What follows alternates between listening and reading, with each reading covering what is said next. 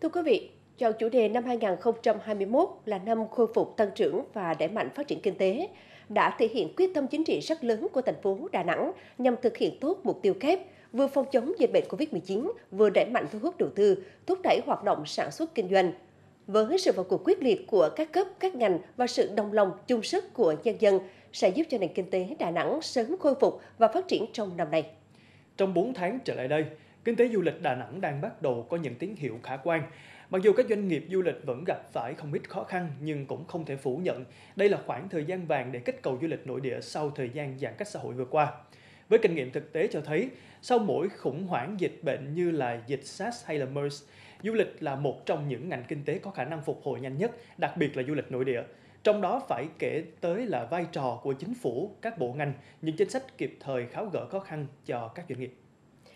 Tuy nhiên thì bên cạnh sự hỗ trợ từ phía chính phủ thì Đà Nẵng đã và đang giành thế chủ động biến nguy cơ thành cơ hội và liên kết thì chính là từ khóa của vấn đề này. Sự liên kết được thể hiện ở nhiều cấp độ như là doanh nghiệp bắt tay với doanh nghiệp, các tỉnh, thành phố bắt tay hợp tác với nhau để khai thác hết tiềm năng của thị trường du lịch nội địa, từng bước phục hồi du lịch Đà Nẵng. Bức tranh du lịch Đà Nẵng đã thay đổi khá nhiều sau Covid-19. Điều này đòi hỏi những người làm du lịch phải luôn trong tâm thế chuyển động không ngừng. Chuyển động để thích ứng với những yêu cầu mới từ phía du khách. Trong đó, kích cầu du lịch là một trong những yếu tố góp phần đẩy mạnh sự phục hồi sau thời gian dài bị đóng băng. Kích cầu du lịch không có nghĩa là chỉ đưa ra những mức giá hấp dẫn, mà còn phải thay đổi trong cách làm du lịch để phù hợp với xu hướng mới trên thị trường. Một số doanh nghiệp đã đưa ra cái gói kích cầu chúng tôi giảm từ 30 đến 70% cái giá phòng cũng như một số ờ, vé tham quan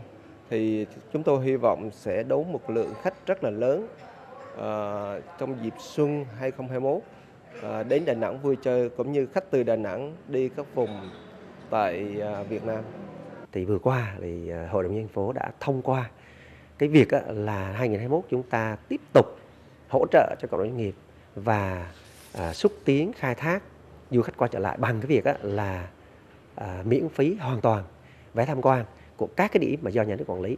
À, chúng tôi tin tưởng là với các cái à, bộ tiêu chí này được triển khai một cách sâu rộng như thế thì à, rất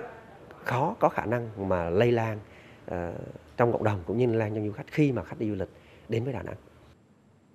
Chuỗi ngày khó khăn của du lịch đang dần đi qua, bắt đầu đã có những tín hiệu tích cực khi du khách đã quay trở lại những điểm đến quen thuộc tại Đà Nẵng – Mối quan tâm hàng đầu hiện nay của du khách trong nước khi đi du lịch không phải ở mức giá rẻ mà chính là điểm đến phải an toàn. Cùng với đó, xu hướng du lịch ngắn ngày cũng đã lên ngôi. Đây cũng là một trong những yếu tố quan trọng để thành phố Đà Nẵng đưa ra những phương án thích hợp để thúc đẩy ngành du lịch phát triển trong năm 2021. Chuẩn bị cho năm mới 2021, ngành du lịch cũng đã xây dựng à, và sẽ triển khai kế hoạch khôi phục hoạt động du lịch. Chúng tôi sẽ tập trung vào ba nhiệm vụ chính trước tiên thì chúng tôi sẽ tiếp tục à, phối hợp với các ngành của thành phố để à, triển khai công tác phòng chống dịch, à, góp phần giữ gìn điểm đến Đà Nẵng an toàn. Thứ hai là chúng tôi cũng sẽ triển khai các cái chương trình kích cầu, các cái gói sản phẩm và liên kết xúc tiến với các địa phương có đường bay nội địa đến với thành phố. Việc thứ ba thì chúng tôi sẽ tập trung chuẩn bị các sản phẩm mới để mà công bố phục vụ khách. Trong đó, chúng tôi sẽ thí điểm, triển khai à, một cái chương trình về đêm đó là chương trình Đà Nẵng by Night à, và đặc biệt thì chúng tôi sẽ thí điểm triển khai dự án à, phố đêm biển Mỹ An để tổ chức các hoạt động ban đêm sôi động để cho phục vụ khách và trước mắt chúng tôi sẽ tập trung vào thị trường nội địa. Với sự đầu tư và chuẩn bị kỹ lưỡng, ngành du lịch Đà Nẵng được kỳ vọng sẽ trở lại mạnh mẽ sau khủng hoảng Covid-19. Sự hồi phục của ngành du lịch nội địa sẽ kéo theo sự phục hồi của nhiều ngành kinh tế khác. Việc tái khởi động kích cầu du lịch nội địa là một giải pháp thiết thực, mang lại hiệu quả cho ngành du lịch, cũng là cơ hội vàng để du khách nội địa khám phá các điểm du lịch hàng đầu tại Đà Nẵng cũng như nhiều tỉnh thành khác ở Việt Nam.